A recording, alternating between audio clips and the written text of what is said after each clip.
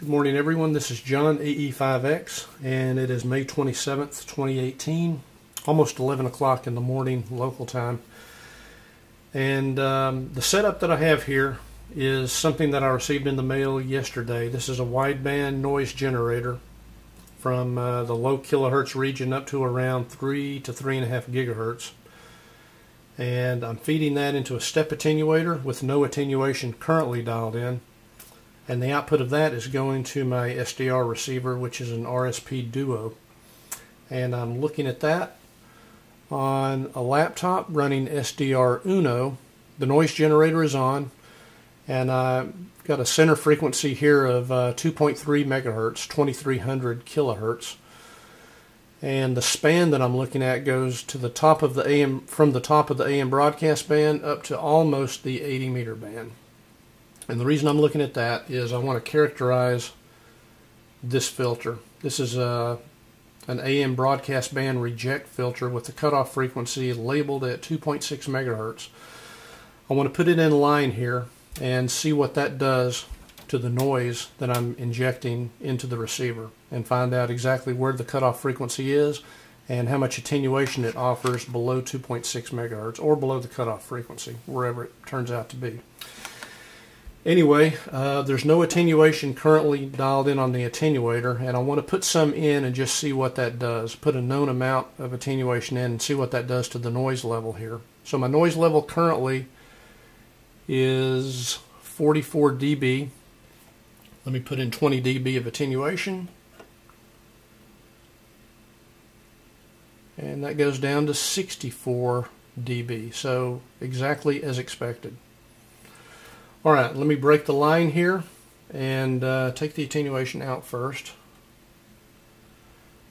and put the filter in series and we'll see what that does to the noise. As you can see it's pretty much level from 1500 kilohertz up to 3000 kilohertz. So let's see what happens when I put the filter in.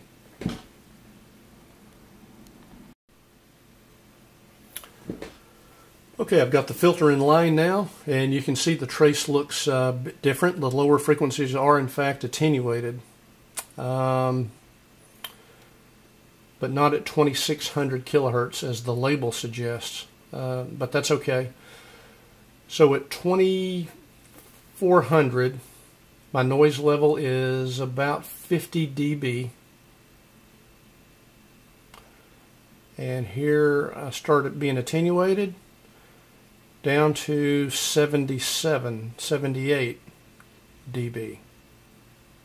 So I'm getting almost 30 dB of attenuation with this filter and it begins at about 2200 kilohertz and is completed or down to its maximum at 1900. So I would call this a 22 uh, or a 2.2 megahertz cutoff uh, filter instead of the labeled 2.6.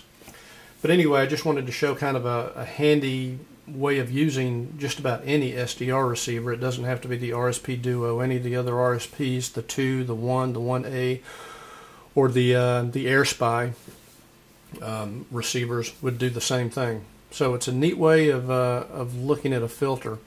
And later, I want to look at the filters in my Ultimate 3S. Those are bandpass filters. I've got six of them in there and uh, this would provide a neat way of adjusting those filters by manipulating the windings on the coils, either compressing or expanding them to um, to tweak exactly where the filter is. And it would also be neat to see what the bandwidth of the filters are, the 6 dB and the 60 dB bandwidth of those filters.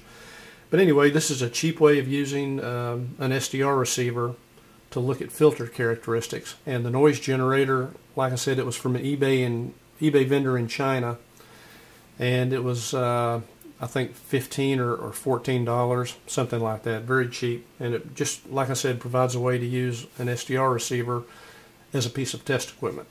Anyway, 73, and thanks for watching.